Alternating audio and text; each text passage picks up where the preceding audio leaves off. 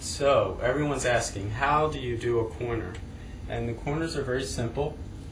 You line up your stencil.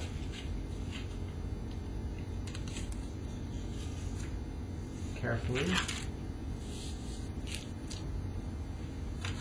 And this, you cannot do corners without this, this tool. It is a mini guide and uh, it's available on the website or you can get it at a paint store.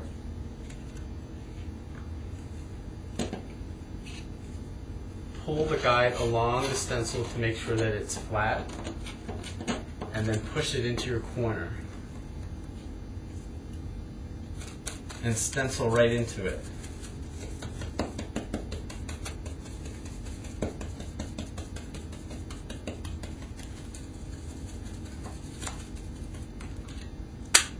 When you're finished, just pull it off, and then you can start on your corner going the opposite direction in the same manner.